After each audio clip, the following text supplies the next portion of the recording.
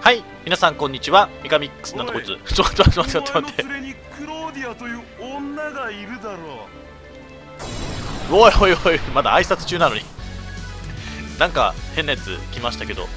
えー、ロマンシングサガミンストレルソングリマスタード版ですね、えー、先行配信第2回目やっていきたいと思います。ちょっと待ってまずこいつ勝たす。衝突剣使っていこう。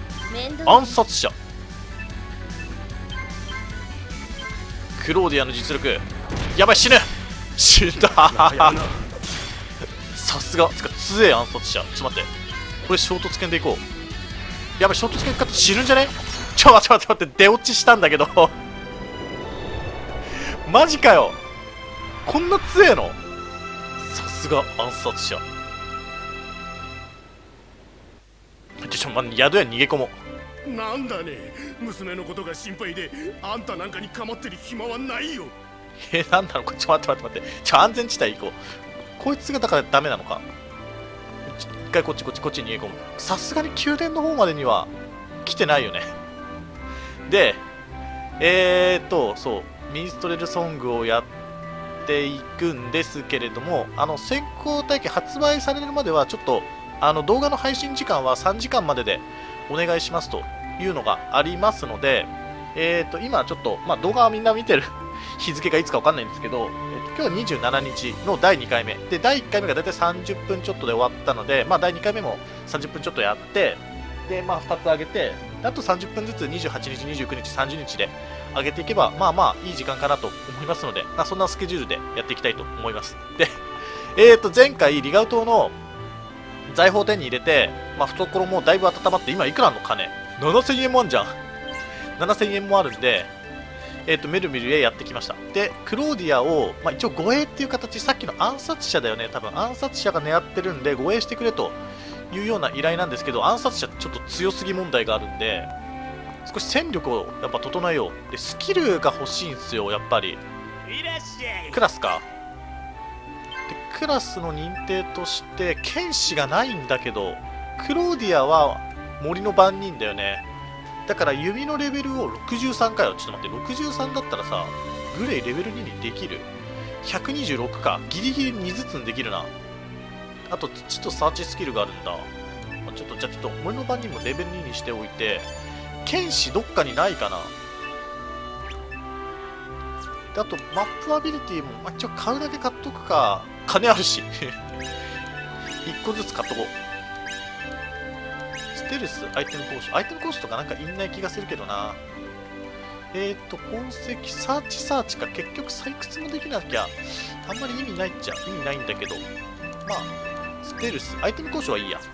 なんか一気に5000になっちゃったよ。いや、待って待って待って。もしかしてこいつも？近づいてきてるってことは、こいつ、えちょっと、わかんねえんだけど、怖え。もう人間不信だわ、今。マップアビリティつけてこう。えーと、まあ、サーチ、まあ、や、サーチ、仕掛けのサーチって何？採掘、採取。まあ、サーチしとく。サーチしてもさ、結局、ゲットできるものがないと意味ないんだよね。いや、こ、こいつ絶対、あれだ。怪しい。お前、これさ、帝国兵いるんだからさ、なんとかしろよ、暗殺者。こんな、白昼堂々といるんだから。えっ、と、ちょっとローマン行けんな、ローマン行こう。多分これクロディアが多分地図持ってたよね。ここまではさすがにこいつ暗殺者じゃないよな、どう考えても。もう、武器とか何言ってんだろう。これあれか。鍛える状か。で、光、光の魔法は持ってないしな。土の魔法とかいるのフルーレ、カットラス？あ、なんかカットラスって小型犬形変わってない？ななんとなくだけど、そんなことない。リマスターになって、見やすくなっただけかな。待ってこっち。いらっしゃいませ。えっ、ー、とバックラースマートエルチェインメールか。確かにめちゃくちゃダメージ食らってたからな。でも最初はやっぱり武器欲しいんだよな。地図手に入れよう。最初やることはもう地図を手に入れる。で盾はあった方がいいんだよね。シングルソードだから盾発動するはずなんだよ。で盾持ってない。やっぱガラハドから盾パクっとくべきだった。バックラーどうなの ?132 円か。まあ、安いし買っとこう。ないよりはあった方がマシ。ちょちょっとそんな感じで。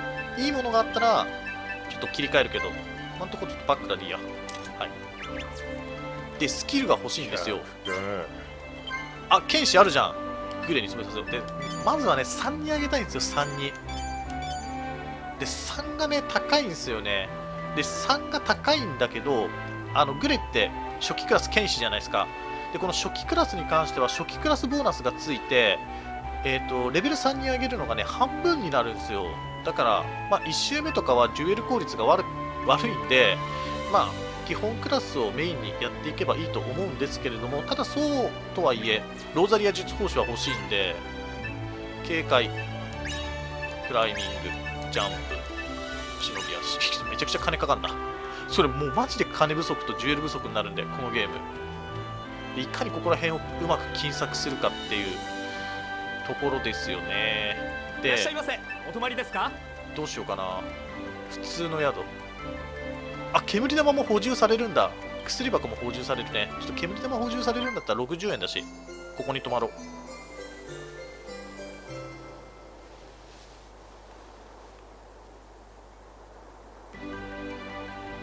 で、まあ、セーブなんかねどこでもできるようになったんでだから大丈夫です。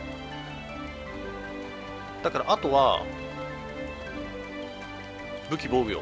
武器防御っていうか武器を。何かお探しあここフランシスカとかなんかそういう斧系か。変わんねえじゃねえかよ振ってんの。で一応こっちの方に道具屋さんがあってローバーンの道具屋さん。あここはあれだな。アクセサリー屋さんかガーディアンリングとか結構いいんだけどね。ブルーエール行ってみるかじゃあ。ゴールドマインもいけるけどゴールドマインってなんかあんまり大したものを売ってるイメージがないんだけどそれは偏見かな。まずは地図をゲット。でえっ、ー、とここパンチ屋さんここ。いらっしゃいませ。タウンソードってあ長剣かすげえな3300円か。いやこれ欲しいな。でも金は金でやっぱり取っときたい気はするんだけどな。26は魅力だな。今いくつ？シングルソードって。9! 9 ですか。ちこいつタウンソードタウンソードだけ買おう。よし。だってクローディアは1段階強いやつになってるので多分これ攻撃力的に、まあ、10とか9とかそこら辺の攻撃力があって10いくつがあって20いくつだよね多分。でクローディアもまあまあ1920近いからクローディアはまあこれでいいでしょう。で一応傷薬持っときたいんですけど。1個くらいせめて。200円もすんの。高えな。レザーアーマーちょっと防具どうなってる？クロスアーマー手は装備してないな。サンゴの指輪装備してるのがいいな。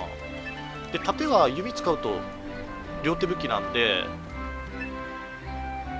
ちょっと盾は発動しないんで、まあ、じゃあメルビルのイベントをこなしていきますか。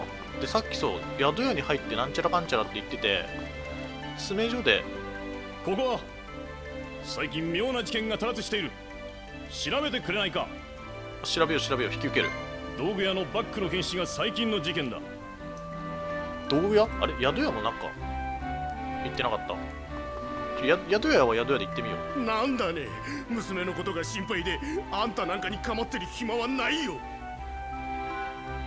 え？でちょっと待ってこの暗殺者マジ怖いんだけど。いらっしゃい。これ術か。いらっしゃいませ。これ何も言ってくんないなお父さんが急に死んじゃって私が店をやらなきゃいけないの。お母さんは病気だし。警備隊から話を聞いてきた。何か聞かせてくれ。はい。あの日お父さんがあんまり起きてこないんで起こしに行ったんです。いつも私より早起きなのに。寝室に行くと顔色がすっかり変わっててもう虫の息で親父は何か言ったのか？地下室から黒いものがあってそれが最後でした。お母さんは隣に寝てたのに何にも気づかなくてそれがショックで病気になっちゃってもう私どうしたらいいのか。しっかりしろ。自分の力で生きるしかないんだ。何が起きたのかは俺が必ず突き止めてやる。そうですね。お願いします親父を恨んでいた奴はいるか？そんなお父さんとってもいいお父さんだった。みんなが大好きだった。そうだウォードだわ。道具屋のウォードよ。あいつすごい嫌なやつで自分の商売がうまくいかないのをいつもお父さんのせいにしてた。きっとあいつよ。あいつがあいつが。落ち着け。俺が調べてやる。はいお願いします。ウォード？あ待って待って待って待って。い。ややべやべやべやべ。いやタウンソードの衝突剣の力見せてやる。面倒ね。クローディアクラウドするから防御しとくのもありかもな。ちょっと防御しよううわ防御しても死んだ？これで倒せなかったら終わるぞ。カットイン防げるか？80よしいけ。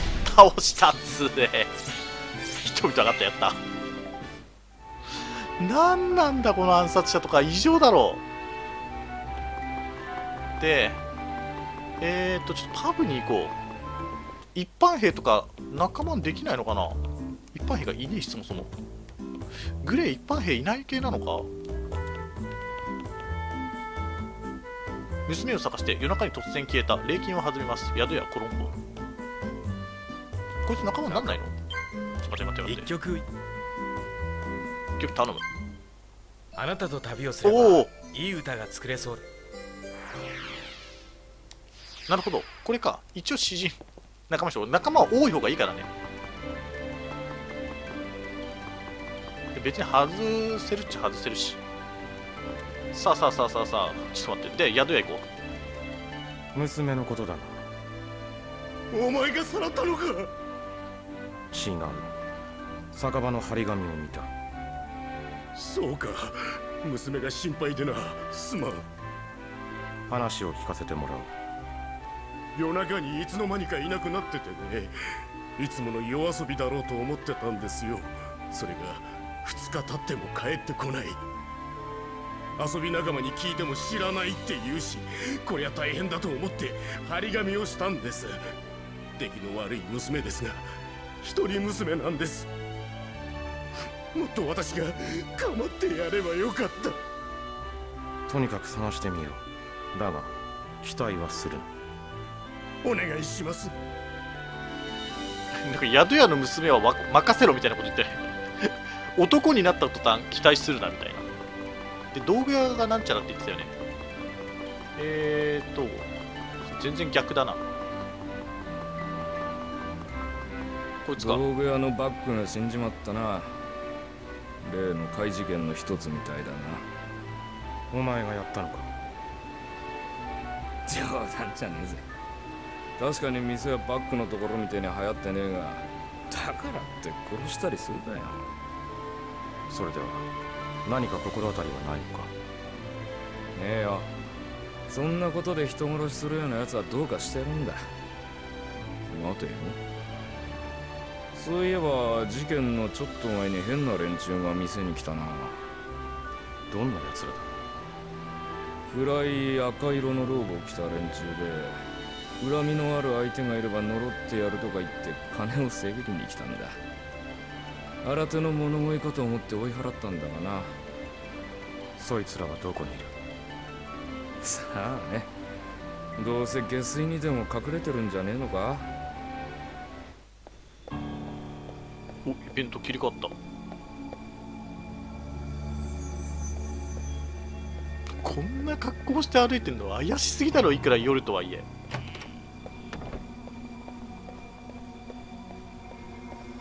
えこれちもう行かなきゃいけないの？クイックセーブしとこう。あ一応ちょっと後追っかけられるんだな。ちょっと待って待って待って待って。敵敵敵おい。敵い。っぱいいるいっぱいいるけどあ衝突剣がそう2になってる。あの最初3だったじゃないですか。多分レベル上げたからだよね。戦いが今幕を開ける。詩人ネーダー最初は強いんですよ。あともし一般兵入れられるんだったら全然入れておいた方がいいと思うんだよねで基本的な今回の仲間編成は、まあ、みんな主人公キャラでいこうと思います、まあ、サブキャラとかもねいっぱいいるんですけど、まあ、1周目なんで、まあ、まずはスタンダードに、ま、なるべくサクッとクリアできればと思います。あメーブにチーズ手に入れたわ。ちょっと待って待って待ってこっちじゃないのよ。近くに宝箱がありそう。宝箱サーチがあるけど敵のワンサがいるからな。あれ？これもう入ったらいるのか？娘。恐怖と苦痛の主。憎悪と腐敗を呼ぶ者。闘争し支配する力。殺戮と破壊の王。偉大なるサルーインよ。サルーインだと？そんなものに祈りを捧げて何か起きると思っているのかこいつらこの娘の若き心臓を捧げます。我らに力を与えたまえ。やめろ。神を恐れぬ不届き者め。皆の者こやつの血をサルーインに捧げよう。サルイ様ではないんだ。またこう取り巻きがいるな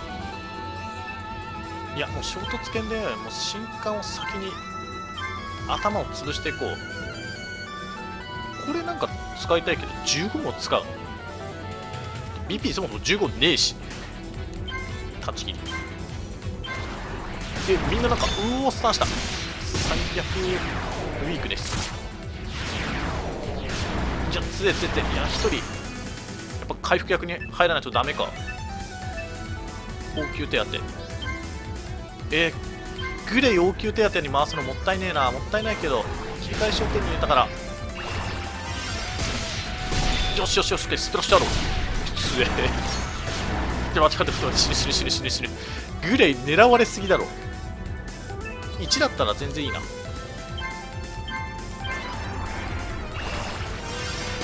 や最初の応急手当まおお。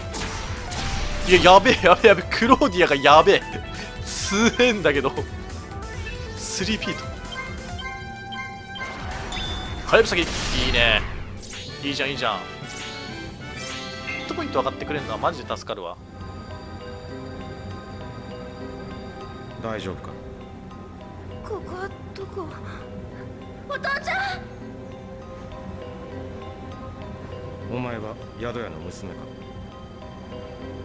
そうだよお父ちゃん怒ってるだろうな。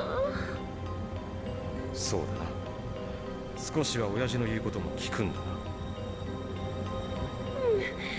すごい怖い目にあったよ。エリザベス宮殿玉座の間。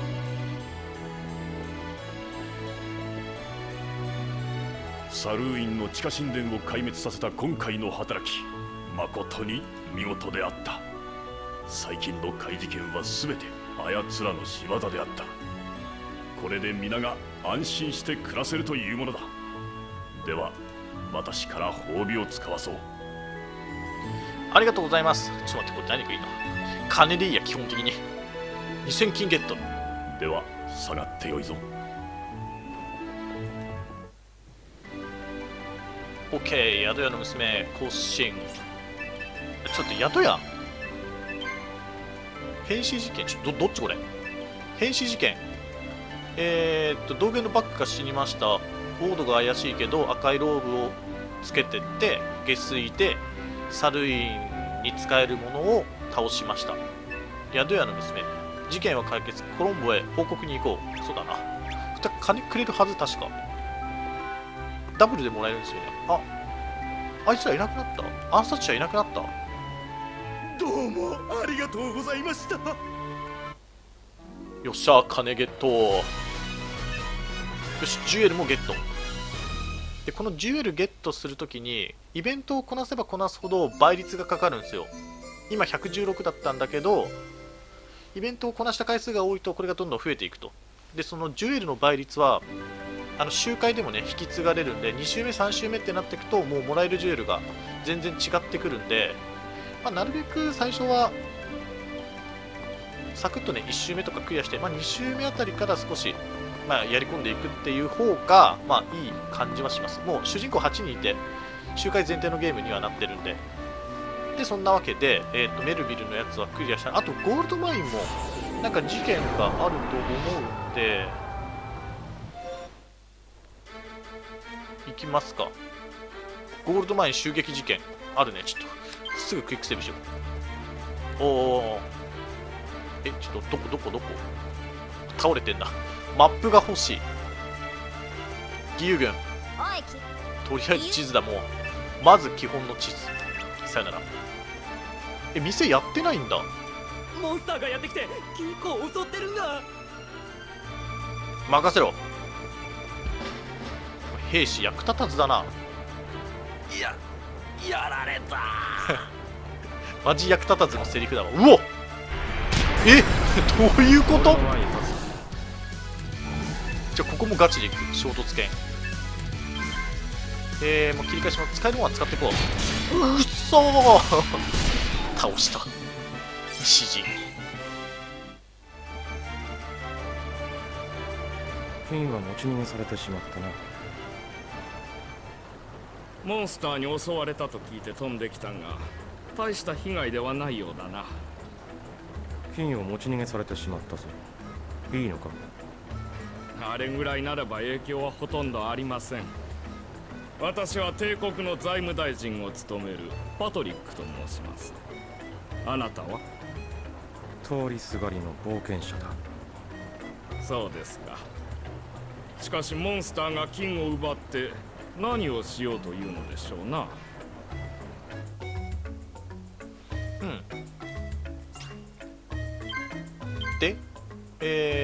金は持ち逃げされてしまいましたということでちょっとアイテムのあだけ見ていこう。あここちょっと安いな。傷薬。さっき200円だったけど190円だ。で武器はまだ回復させなくて大丈夫でしょう。こいつ何？いい鉱脈を見つけああ。一発狙ってるやつだね。パブ。あ。シェリルのイベントがあるのか。あちょっと一般兵こいつ仲間にしよう。俺の腕が必要なら貸してやらんでもないぞ OK よろしくな。戦士。あこいつらに装備を上げあちょっと待って待って待って待って待って。詩人がいなくなっちゃったよ。パブに入ったから。なちょっと待ってなん一か曲いあなたとた。よろしくお願いします。これで4人。まあまあまあとりあえずこれでいきますかえーっと高えな。ここは？何かお探し？フルーレか。あターゲット300円何かおで売ってんじゃん。回数の20小型だって。ちょっとお金そんなにあるわけじゃないから。でメルビルに行って盗まれた金の行方を追うんだけどまあ下水だよね。あ詰め所じゃねえかここ下水だよねと。でどこだ？ちょっととりあえず地図を頼りにいろいろ行ってみよう。背後取られた。で早打ち。ワルーンソードって何？詩人の剣もね結構攻撃力自体は高いんだよね。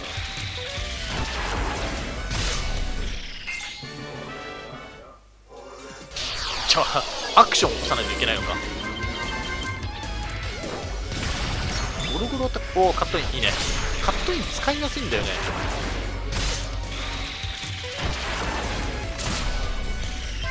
いや長指強いな普通に。BP アップも助かる。鍵がかかっている。あここじゃねえのかじゃあ。ちょっとこれはもう下水をいろいろ探索していかないといけなくて。30か結構食らうは食らうな4人いるとだいぶ違うな。戦士1人加わっただけで。火力プラス1の。英雄たちの姿があった。なんかわめいてるけど。あいるいるいる。ちょっと邪魔だなマジで。敵が。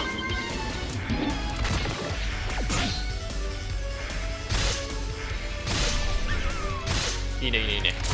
無益な殺生ね。おいお前たち泥棒だな。そのまんまだな。なんだお前は。怪我したくなかったらあっちへ行ってろ。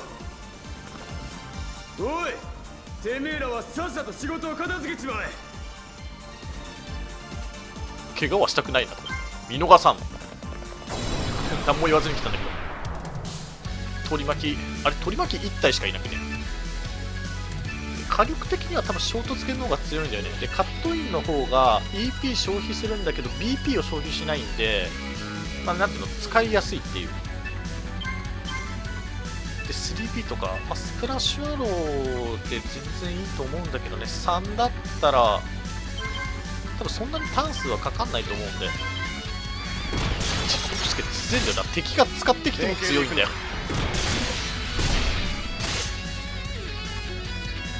じゃあカットイン。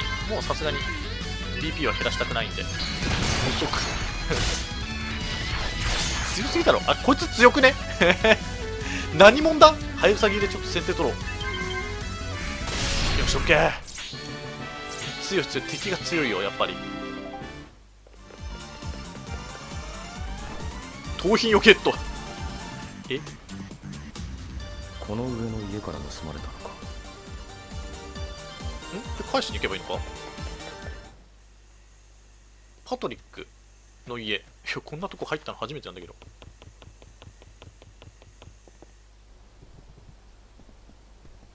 なんか誰かいないか？濡れ衣着せられそう。なんだこんな夜中に。おやあなたとはゴールドマインでお会いしましたな。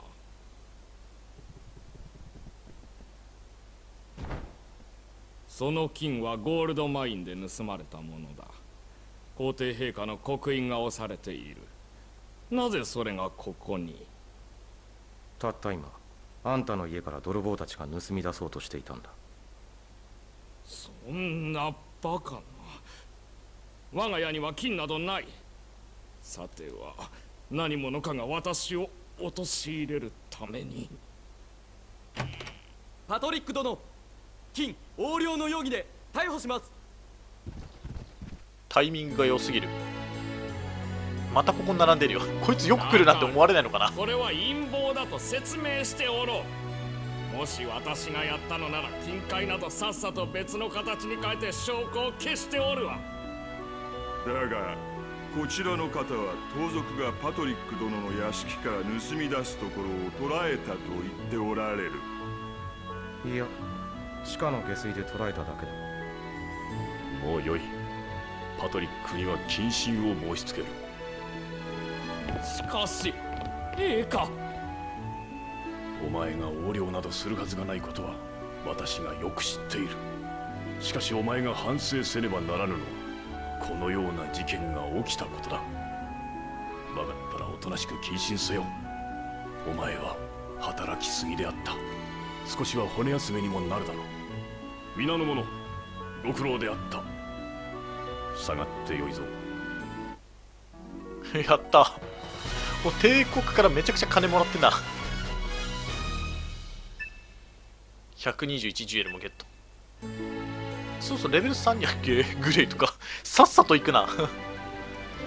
でこれでゴールドマイン襲撃事件。モンスターがやってきました。金庫を襲撃しました。打ち逃げされました。泥棒を捕らえました。